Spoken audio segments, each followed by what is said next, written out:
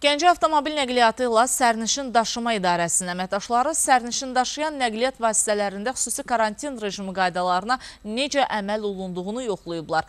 Reyd zamanı sürücü və sərnişinlər təlimatlandırılaraq onlara maskalar paylanıb, həmçinin avtobuslarda xüsusi kateqoriyalı sərnişinlər üçün olan yerlərə də xatırladıcı vasitələr yapışdırılıb.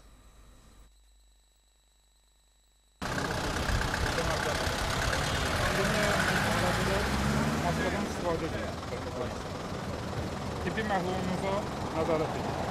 Vətəndaşların ara məsafələrini saxlayın. Əks halda əməl edəməsəz, həddən kənarlaşdırın.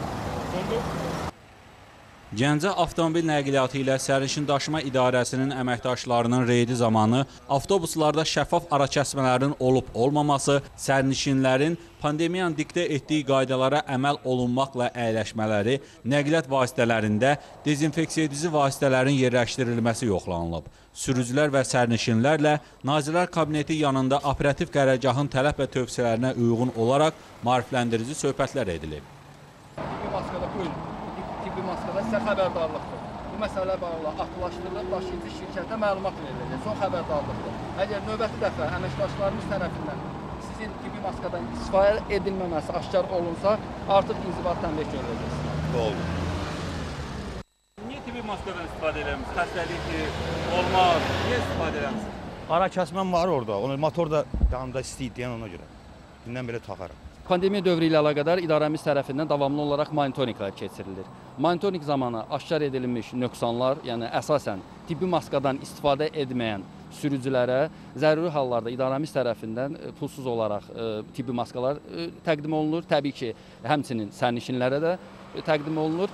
E, Əgər bir sürücü bu nöqsanı ikinci dəfə təkrar edərsə, artıq həmin sürücü haqqında e, hüquqi müstəvidə tədbir görülür və həmin sürücü xəttdən kənarlaşdırılır.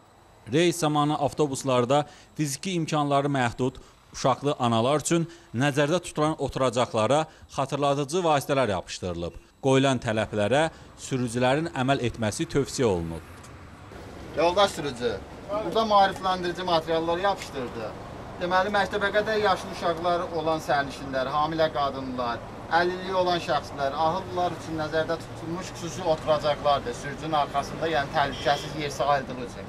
Xahiş edirik kateqoriyadan olan vətəndaşlar, yəni istifadə sərnişinlər istifadə etdikdə nəqliyyat vasitəsindən siz də maarifləndirərək bu yerlərin əyləşməsini təmin edəsiniz. E, sərnişin daşıma fəaliyyəti ilə məşğul olan avtobusların salonunun qabaq hissəsində məktəbə qədər yaşlı uşaqlı olan sərnişinlər, hamilə qadınlar və əlilliyi olan şəxslər üçün xüsusi oturacaq yerləri ayrılmışdır. Həmin oturacaq yerləri xüsusi işarələrlə işarələnmişdir.